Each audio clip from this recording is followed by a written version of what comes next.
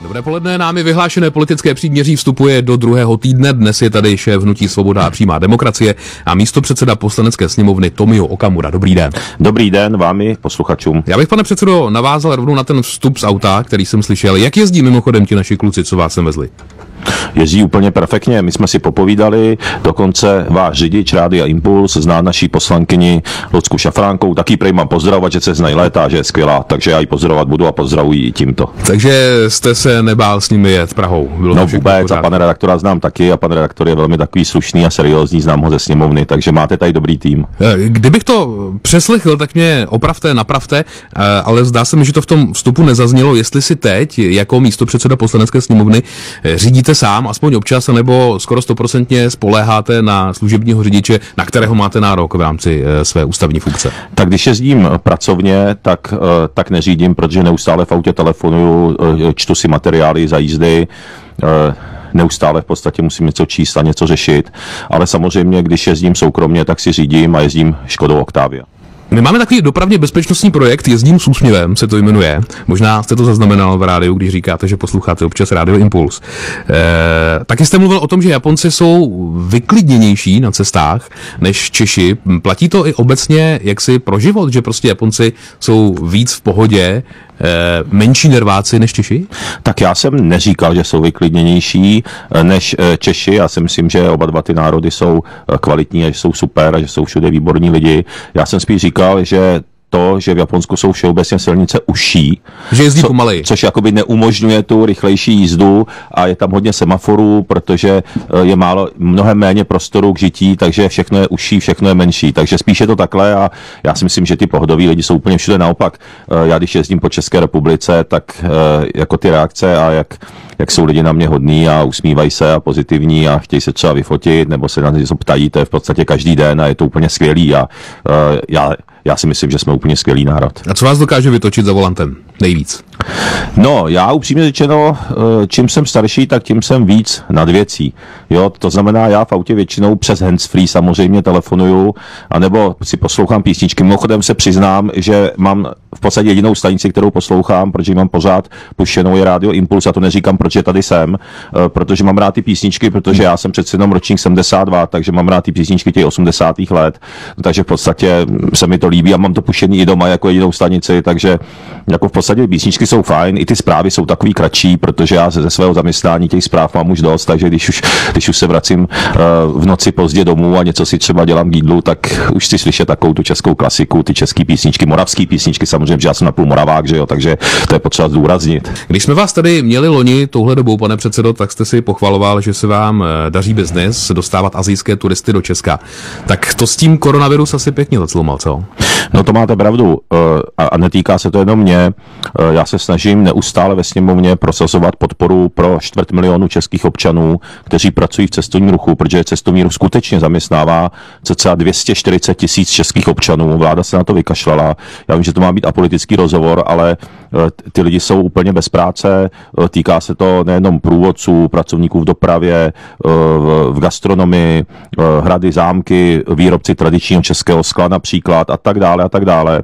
A úplně na něj ta vláda, ten stát zapomíná. Přitom je to fakt 4 milionů lidí a ten cestovní ruch je dělá přímo a nepřímo, přináší do české pokladny více než 5% hrubého domácího produktu. A to by si vláda měla uvědomit, protože... Tak teďko, pane předsedo vládu, vládu, já jsem spíš no. myslel, jak to cítíte vy osobně. Uh, protože asi někdo trošinku sem třeba létá, ne? Nebo vůbec nikdo, nebo jak to je v těchto dnech vůbec teď?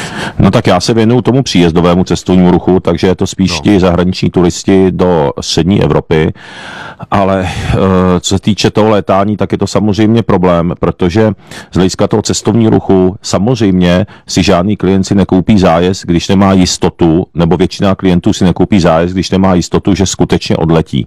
A protože ta doba je turbulentní, tak samozřejmě ten cestovní ruch stagnuje stagnuje a týká se to tím pádem i zaměstnanců hotelů tady, uh, lázeňských zařízení, takže ten problém je opravdu široký, protože my, jak jsme krásná země hmm. a Česká republika je neskutečně krásná země z hlediska historických památek a kultury, proto právě e, vždycky byla tahákem pro zahraniční turisty, tak o to více se vlastně ta ekonomika soustředila na ten cestovní ruch a o to více je to teďka postiženo, když ten cestovní ruch nefunguje. Takže já na to vždycky apeluju prostě e, i ve sněmovně a všude, aby jsme nezapomínali zapomněli na těch čtvrt milionu lidí, který ten cestovní ruch živil. Nemluvím o sobě, já jsem si osobně ani, já osobně jsem si ani o nic nežádal, o nějakou podporu pro sebe, a tak dále. To Ale jako... vaše, vaše příjmy z tohoto odvětví jsou v podstatě na nule. Tak. No tak v dnešní době ano. V dnešní době ano, protože samozřejmě azijští turisti do střední Evropy ne, že, že jako nejezdí, protože to teďka prostě nejde. To je jako jasné, takže všichni čekáme, až se to zase zdvihne. Ale jim se musí hrozně stýskat. Máte nějaké zprávy, protože eh, azijských turistů sem přijížděli opravdu davy. Stýská se jim po Praze, po České republice obecně? Určitě, tak co týče Japonců, tak já jsem vlastně největším dovozcem Japonců do střední Evropy. Přeze mě jich jezdí přes polovinu, už, už, už, už 20 let. Tak oni hrozně rádi cestují do světa a hlavně mají strašně rádi, protože Japonsko je vlastně kultura, která má dřevěné stavby, eh, eh, je, to, eh, je tam úplně jiné jídlo, to znamená, oni mají hrozně rádi ty kamenné stavby, obdivují, že to vydrželo století, staletí, což v Japonsku málo staveb vydrželo staletí, protože vždycky přiš, přišlo nějaký zemětřesení, tím pádem požár, proto jsou ty stavby dřevěné a ne kamenné, aby ty lidi nezavalili pochopitelně v případě toho zemětřesení, takže ty stavby taky méně vydrží, takže oni hrozně obdivují třeba centrum Prahy, jak to, že takhle staletí mohlo něco vydržet, připadají si tady tady jako muzeu a je to třeba zrovna říkám Český Krumlov, Praha, to jsou ty místa, kam oni uh, hodně jezdí, to jsou fantastické města. Já si dokonce myslím, že ten, a já, protože se pohybuju v cestovníku celý život, tak jsem procestoval opravdu mnoho zemí světa v rámci své práce, v rámci svého biznisu a musím říct, že ten pohled od novotného lávky v Praze, kde vidíte zároveň Karlův most i Pražský hrad, já myslím, že je to nejlepší městský pohled vůbec na celém světě. Je to nádhera. Eh, když už jsme teď v rámci covidového vstupu, tak se ještě chci zeptat, jestli se necháte očkovat, až bude eh, vakcína k dispozici. Já se očkovat nenechám, protože já k tomu ve svém případě ani nevidím tak důvod, protože uh, já ani nepatřím mezi ohrožené skupiny, já ani jsem, já jsem ani, um, ani necítím žádné příznaky, hlavně ta vakcína není proskoušená dostatečně, protože běžné vakcíny se testují, co týče vedlejších účinků, až 10 let. Tady ta vakcína byla vyvinuta během několika měsíců, takže já si myslím, já jsem ji ve sněmovně tlačil to, aby to bylo dobrovolné, aby se každý dobrovolně rozhodl. Já to nikomu rozmlouvat nebudu, kdo se chce očkovat, ať se očkuje. Za sebe říkám, že z mého pohledu je to nedostatečně vyzkoušená eh, vakcína, takže já ani nepatřím mezi ohroženou skupinu, je mi 48 let, ani jsem žádné příznaky neměl od jara nic, eh, takže já se očkovat nenechám, protože k tomu za sebe nevidím žádný důvod, ale, ale nebudu bránit ostatním a pro mě je důležité, jak jsem říkal, aby i pro občany to bylo dobrovolné a hlavně, aby to nebylo podmíněno pro ty, kteří se nenechají očkovat nějakým omezením jejich svobod, což ty snahy zaznamenáváme ze strany vlády, že třeba kdo se nenechá očkovat, tak bude mít třeba horší přístup k něčemu, nebo že bude omezen nějak jako ve svém konání a to si myslím, že je nepřijatelné. Mělo by to být skutečně na bázi té dobrovolnosti a stát by měl dělat osvětu takovou, aby lidi eh, eh, eventuálně přesvědčil, proč je to dobré a proč ne, ale zachovat tu dobrovolnost. Šéf SPD, místo předseda poslanecké sněmovny Tomio Okamura. Těšíte se na Vánoce? Tak určitě. My, když jsme si tady povídali loni, tak jste říkal, že slavíte dokonce se svojí bývalou manželkou a jejím partnerem současným. Eh, tak v jaké sestavě to bude letos? Dodržíte to zase? Je to pořád stejné, protože uh, vždycky v slaví Vánoce u nich, u, u nich doma, je tam moje bývalá žena, její manžel, jejich dvě děti, můj syn Růj je tam, no a většinou tam bývá i můj mladší bratr Osamu. Hmm. Takže jsme, no a samozřejmě pes tam bývá, oni mají ještě kočku a ještě mají ješka, takže, no takže je to takovýhle hezký a těšíme se na to, protože uh, si uděláme bramborový salát, my si ho trošku vylepšíme. Sojovkou. No, no, no, aby to mělo ten, aby to, a je to hrozně dobrý, když si pokapete český bramborový salát, anebo moravský, to je jedno, uh, tak si pok, uh, pokapete sojovkou, uh, tak je to hrozně dobrá kombinace a vřele doporučuju. To strhla se kvůli tomu, protože tenhle ten uh, vylepšovák jste popisoval i loni a strhla se kolem toho docela debata potom Eh, pod videem eh, ano. z našeho vysílání. Eh, tak, že jo, chutě jsou různé, proč ne? Ale mě by zajímalo, co máte nejradši z japonských jídel. Tak, protože už tady 15 let právě s mojí bývalou ženou vlastníme ten japonský obchod s potravinami, no. tak vlastně ten přísun je nekonečný v podstatě. A Ostatně mnoho lidí ho zná určitě, protože tam spoustu lidí chodí pořád. A e, takže není to jenom sushi, krátce řečeno, to bych mohl vyprávět do nekonečna, protože sushi je takový nejznámější jídlo, ale těžko se dělá doma, protože aby to mělo odpovídající kvalitu, e, tak to chce jít opravdu do profesionální restaurace.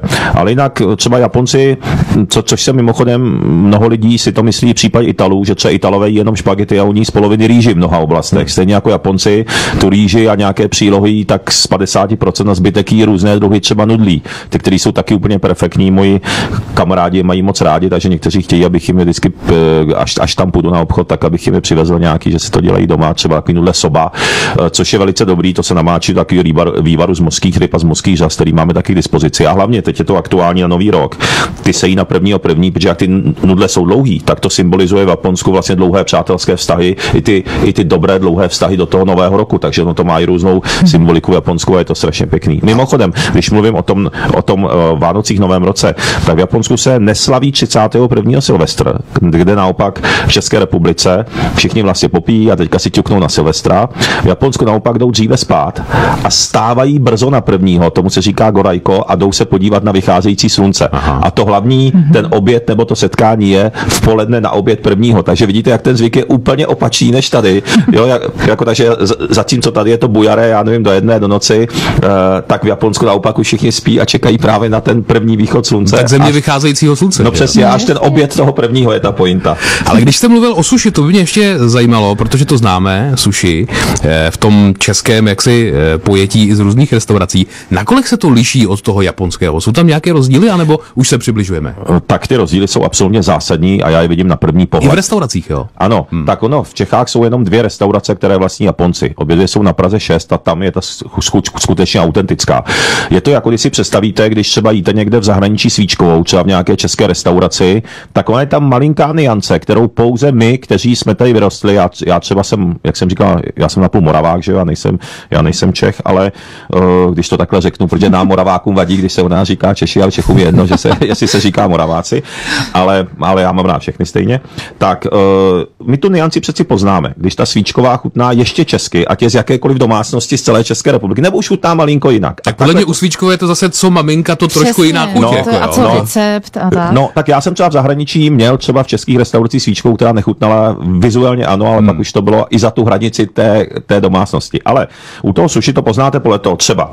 Už na první pohled, když je ta rýže moc nahňácaná na sobě v těch kouskách. To, Japonci, to Japonec by nikdy neudělal, protože japonská, japonský suši je vlastně u, uh, umačkaný tak, že tam jsou vlastně uh, skulinky vzduchu me, uh, mezi těma rýžovýma kouskama a musí to být vzdušný, nesmí to být úplně uhňácený. To je třeba zásadní rozdíl, mm-hmm. který už vidíte, i když, i když jste do obchodu, kdy to dělá, kde to dělá Bůh kdo. Takhle to prostě nechutná, to japonský suši. Uh, stejně tak mimochodem uh, zajímavost je, takhle, ono těch niancí je spousta, který už na první pohled poznám, ale rozhodně by neměl být ten kousek rýže větší než kousek té ryby.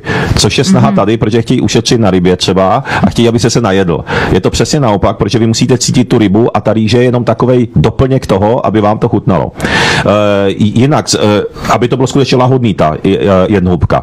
Uh, jinak, co se týče toho jezení jako v praxi, určitě ta sojovka je jenom malé dochucovadlo. Já jsem viděl spoustu lidí, kteří to v tom máchají v té sojovce a je to škoda. Je to škoda. Naopak, vy máte, vy do té sojovky se správně, správně namáčí jen ta ryba. To znamená, vy si musíte otočit to suši z nohama a ťuknout si do toho jen tu rybu. Když máte tu rolku tomaky, tak jenom trošičku ťuknout takhle, takhle tenhle ten pohyb, ťuk a, a hnedka nahoru. Žádný máchání. Protože to má jenom dochutit a hlavně musíte cítit tu rybu.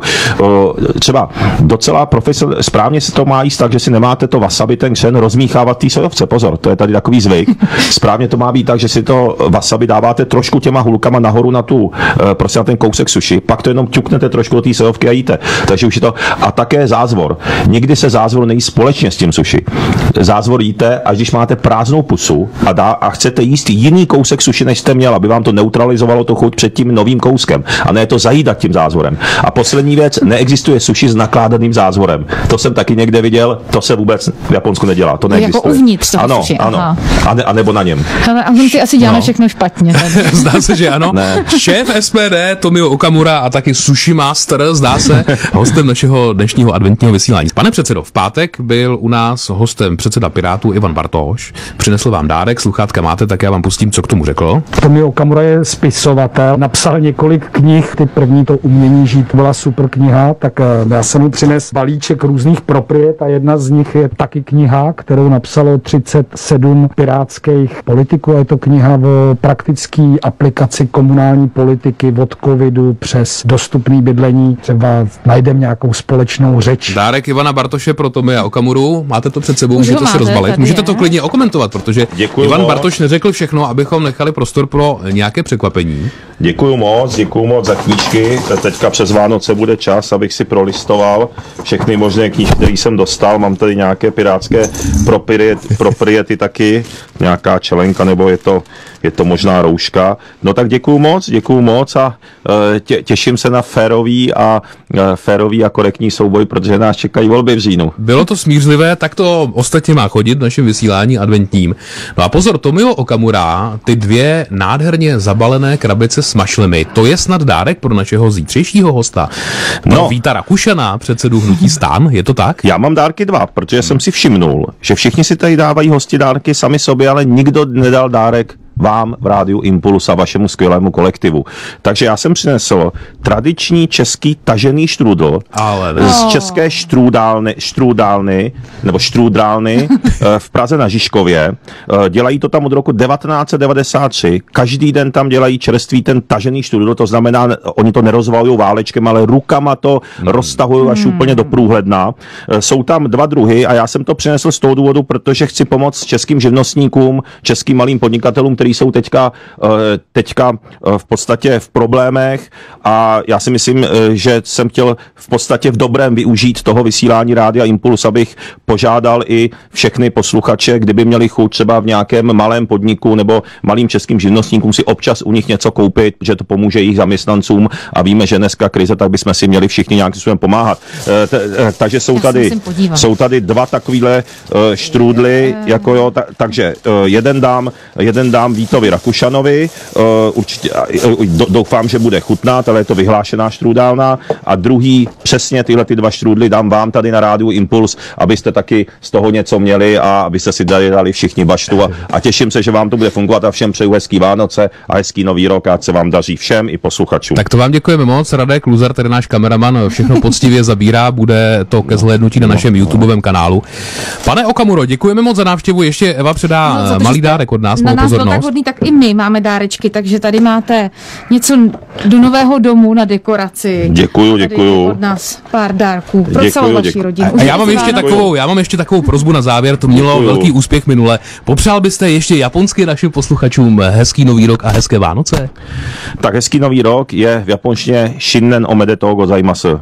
No a uh, co se týče hezké Vánoce, slovo Vánoce v japonštině neexistovalo, proto je přejaté z angličtiny, takže se to řekne Christmas omedeto. A to omedeto znamená vždycky uh, to všechno nejlepší. Jo, takže třeba všechno nejlepší k narozeninám je otanjobi omedeto. Protože to tanjobi jsou zase narození. Takže malá lekce japonštiny na závěr. Tomio Okamura, moc děkujeme, mějte se pěkně, hezké Vánoce, naslyšenou. Naslyšenou. Taky naslyšenou.